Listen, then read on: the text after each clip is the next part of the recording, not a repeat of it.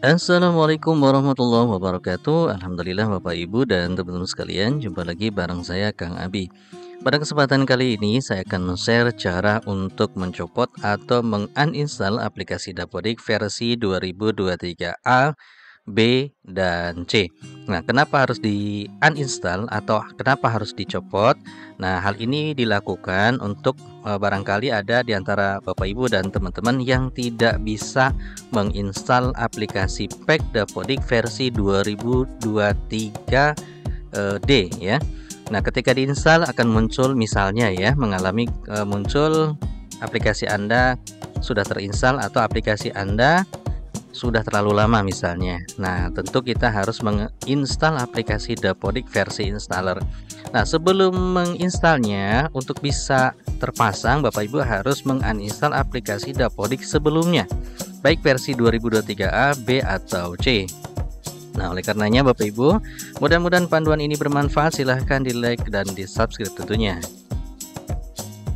Bapak Ibu dan teman-teman sekalian, seperti yang uh, saya sampaikan di awal tadi, Nah, uninstall ini hanya dilakukan apabila Bapak Ibu tidak bisa menginstal pack aplikasi Dapodik versi 2023D.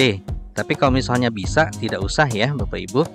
Nah, hal ini uh, ada beberapa yang mengalami ketika diinstal packnya versi 2023D tidak berjalan ataupun muncul notifikasi aplikasinya sudah terlalu lama padahal masih 2023C. Nah, oleh karenanya uh, solusi alternatif terakhir adalah melakukan install ulang Dapodiknya versi 2023D yang installer. Nah, agar berjalan dengan baik proses installnya, maka di, di laptopnya atau di PC-nya harus kosong atau harus bersih dari aplikasi Dapodik versi sebelumnya, misalnya 2023 A, B, atau C. Nah, caranya Bapak Ibu untuk melakukan pengosongan ataupun cara membersihkan laptop atau komputernya dari aplikasi Dapodik versi sebelumnya, silakan Bapak Ibu buka kontrol panel, kemudian Bapak Ibu e, pro, lakukan proses uninstall. Nah, sekarang langsung saja kita praktek ya. Nah, silakan Bapak Ibu di tombol shoot boleh ya, di tombol yang lain juga boleh. E, ketikkan saja kontrol panel seperti ini. Kita pilih kontrol panel Kemudian Bapak Ibu setelah pilih control panel, pilih program, programs, uninstall a program, dipilih saja uninstall a program.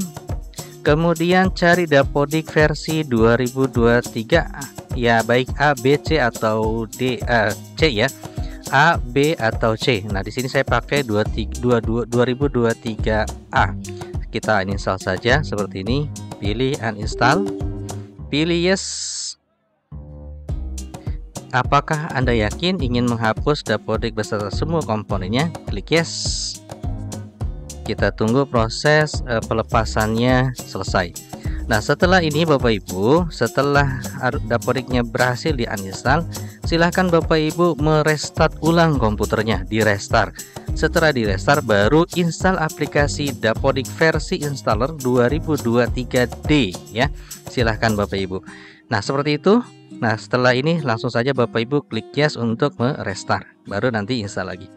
Nah itulah Bapak Ibu cara untuk menginstal aplikasi Dapodik versi 2023 A, B, atau C Untuk Bapak Ibu yang mengalami kesulitan ya dalam menginstal aplikasi Dapodik versi packnya 2023 Nah setelah itu baru Bapak Ibu install ya versi installer Baik Bapak Ibu, demikian yang bisa saya bagikan. Mudah-mudahan bermanfaat. Assalamualaikum warahmatullahi wabarakatuh.